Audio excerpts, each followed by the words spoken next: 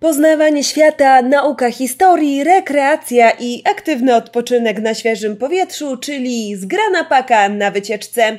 Plecaki spakowane, można ruszać w świat. Dzieci i ich rodzice oraz wychowawcy z placówek wsparcia dziennego pojechali do zamku w Łańcucie oraz Muzeum Wsi Markowa. Było bardzo fajnie się, jestem zadowolony. Dobrze było, fajnie. Bardzo dobrze.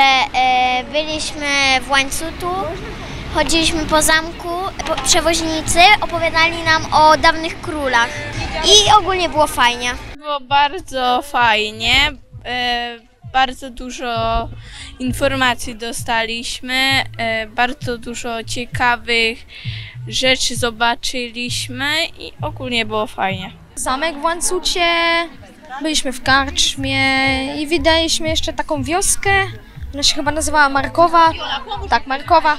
No i ogólnie było wszystko fajnie, cieszę się. Najciekawsze to chyba były e, stara wieś, domki i różne stare przedmioty.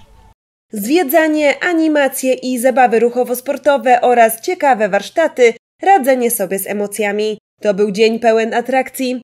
Wycieczkę krajoznawczą zorganizowano w ramach projektu pod nazwą Lepsza przyszłość zgranej paki, realizowanego przez Gminę Miasta Dębica oraz Miejski Ośrodek Pomocy Społecznej w Dębicy w ramach Regionalnego Programu Operacyjnego Województwa Podkarpackiego na lata 2014-2022.